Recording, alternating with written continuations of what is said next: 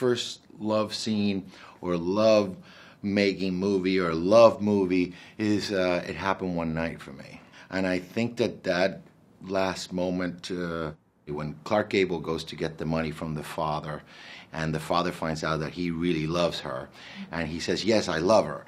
Just give me the money, the thirty-nine fifty, and I'll walk out." And he walks out, and there she is with like, with her friends, and he looks at her and he goes, "Now you look normal."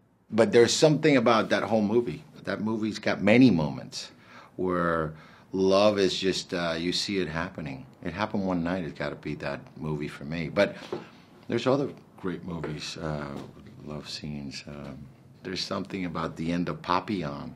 I mean, Dustin Hoffman and, and Steve McQueen, when just before Steve McQueen jumps into the ocean on, on, on his coconut made raft, Dustin Hoffman is not going to go with him.